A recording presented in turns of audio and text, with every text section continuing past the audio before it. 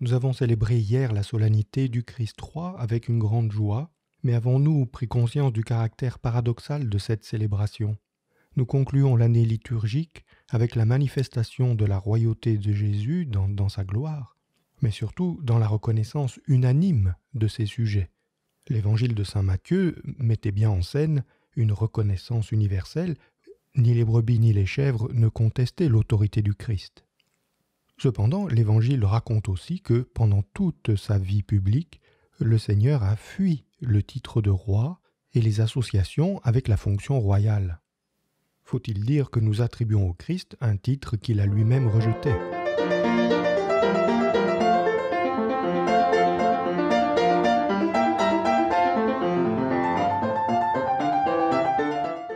Vous écoutez Il est midi, un podcast proposé par la famille de Saint-Joseph et présenté par le frère Dominique Joseph.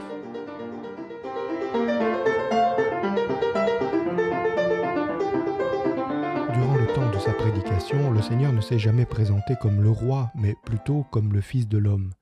Et de fait, dès le début, le lecteur de l'Évangile est pris par une sorte de paradoxe, où les peuples reconnaissent Jésus comme roi, lui donnent le titre ou veulent le couronner, l'appellent volontiers fils de David, et de notre côté ils ne reconnaissent pas Jésus, ni dans son autorité royale, ni dans ses titres messianiques.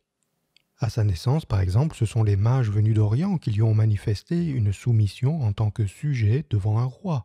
Et plus tard, lorsque Jésus s'est manifesté sur les bords du Jourdain, Jean-Baptiste l'a présenté comme celui que on ne connaît pas. Son autorité et sa royauté demeurent voilées. S'il en est ainsi, c'est que Jésus veut que sa royauté nous soit d'abord masquée, non pas pour nous tromper, non pas pour s'échapper, mais pour purifier notre compréhension de celle-ci. Quand il fuit les foules, c'est parce qu'elles veulent faire de lui un roi humain, un roi à la manière de ce monde. S'il esquive les questions de Pilate, c'est parce que Pilate ne comprendrait pas de quoi il est question.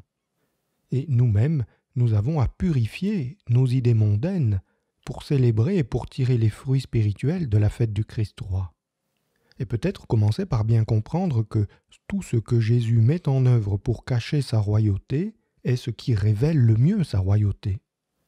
La première chose est qu'il renonce à toute richesse, y compris au rang qu'il égalait à Dieu, pour venir se faire homme, pour prendre la condition d'esclave. Il est un pauvre, il est un vulnérable. Et le soir de la scène, il met le tablier du serviteur. Sa royauté s'exerce dans l'esprit, ni par la force, ni par la puissance, mais par l'esprit.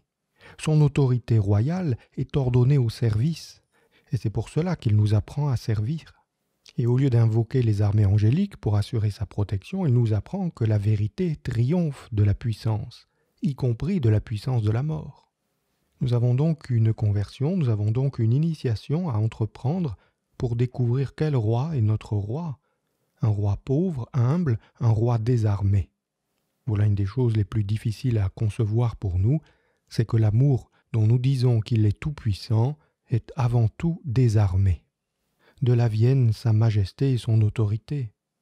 Alors pour apprendre à reconnaître ce roi qui est demeuré caché aux yeux de la plupart de ses proches, il nous faut adopter les mœurs de son royaume, comme nous y invite l'Évangile proclamé hier, en sachant qu'il s'est fait pauvre, le plus pauvre parmi les pauvres, c'est d'abord là qu'il faut apprendre à le reconnaître en eux, c'est-à-dire dans chacun de nos frères. Et en quoi nos frères sont-ils pauvres?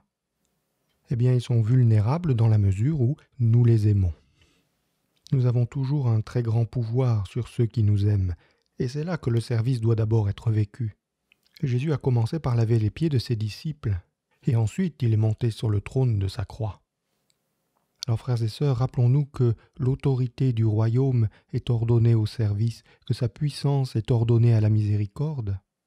Soyons attentifs à plus nous avons de pouvoir sur les gens, c'est-à-dire plus nous sommes liés avec eux par l'amour, au plus notre amour doit se faire service, il doit être délicat et prévenant, et qu'ainsi ayant découvert quelle est la nature de la vulnérabilité de l'amour, nous puissions reconnaître notre roi dans chacun des pauvres qu'il nous envoie, dans lesquels il demande à être aimé et à être servi.